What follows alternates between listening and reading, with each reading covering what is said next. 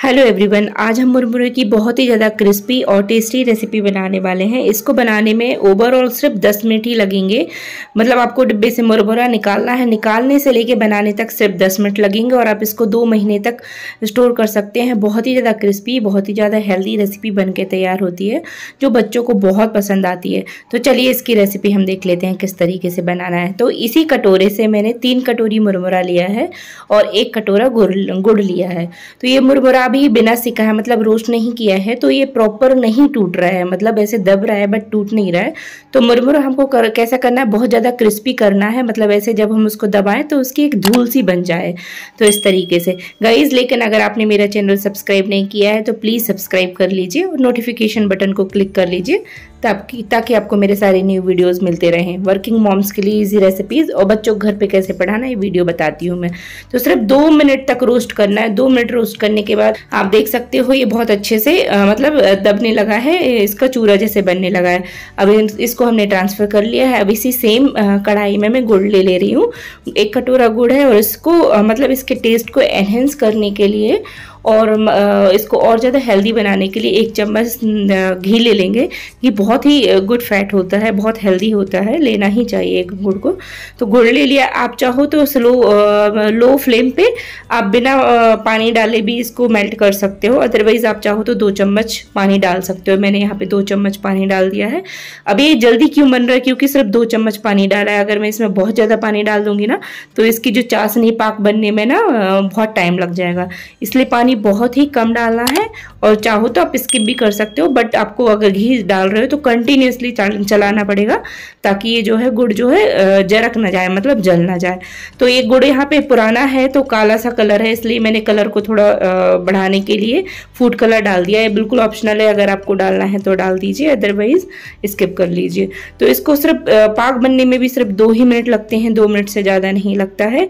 और हम पाक को कैसे चेक करेंगे कि पाक हमारा जो है गुड़ की चाशनी जो है तैयार हो गई है। तो एक कटोरे में हम पानी ले लेते हैं और उसके बाद में हम थोड़ा सा चाशनी को उसमें डालेंगे और उसकी गोली बनाएँगे।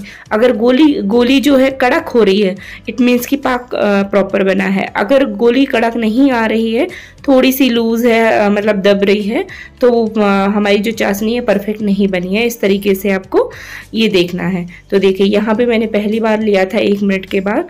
तो गोली जो है मतलब थोड़ी सी लूज़ है गीली टाइप की है तो इसलिए मतलब पाक चाशनी जो है नहीं बनी है। अब एक मिनट और इसको मैं कंटिन्यूसली चला रही हूँ लो फ्लेम पे।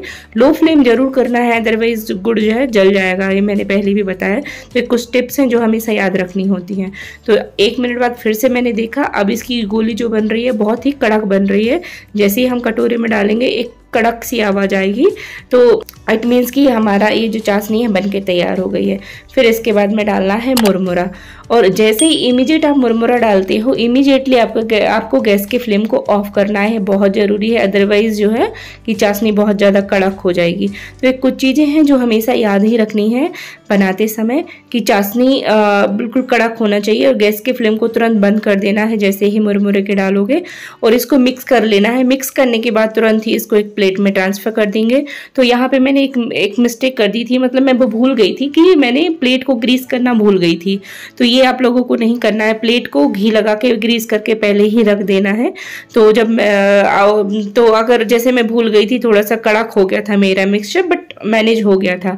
अगर आपसे कभी ऐसा होता है कि मिक्सचर बहुत कड़क हो जाता है जब तक हम प्लेट में घी लगा रहे हैं तो आप दो मिनट इसको स्लो फ्लेम स्लो गैस पे रख दीजिए। तो ये आराम से मेल्ट हो जाएगा। फिर ये आप इसको जैसा चाहे वैसा सेप दे सकते हैं। तो देखिए, अब मैंने यहाँ पे इसको मेल्ट कर लिया है ऑफ़ सॉरी ग्रीस कर लिया है और फटाफट मैं इसमें ट्रांसफ़र कर दूँगी। ट्रांसफ़र करके मैं इसको हाथ से सेट कर लूँगी। आप चाहो तो बेलन से बेल सकते हो या चाहो तो हाथ से सेट कर सकते हो। तो मैं यहाँ पे एक अच्छा सा सेप दे रही हूँ, गोल का चिक्की टाइप का बना रही है। आप चाहो तो इसको मिठाई बोल सकते हो, चिक्की बोल सकते हो। और आप इसी से ही लड्डू बना सकते हो। तो देखिए, सिर्फ़ एक मिनट बाद ही मतलब ये इतना कड़क रेसिपी तो एक मिनट बाद ही ये बन के तैयार हो गई है। आप, आपको इसे चाकू या चम्मच से निकालने की ज़रूरत नहीं पड़ेगी। अपने आप ही निकल जाती है। अब मैं इसको पलटा के निकालूँगी। बहुत ही ज़्यादा क्रिस्पी बनी है, बहुत ही ज़्यादा टेस्टी है। तो आप ये रेसिपी घर पे ज़रूर ट्राई कर लेना। बहुत ही अच्छा मतलब एक रोटी की तरह ऐसे थाली पीट की तरह आ गया है बन के इसको मैं छोटे छोटे टुकड़े करके रख लूँगी। और बस ये बच्चों को, घर में फैमिली को सबको बहुत पसंद आते हैं। तो गाइज़ अगर आपको ये रेसिपी अच्छी लगी हो तो प्लीज़ चैनल को ज़रूर सब्सक्राइब कर लीजिए और नोटिफिकेशन बटन को क्लिक कर लीजिए ताकि आपको मेरे सारे न्यू वीडियोस मिलते रहें।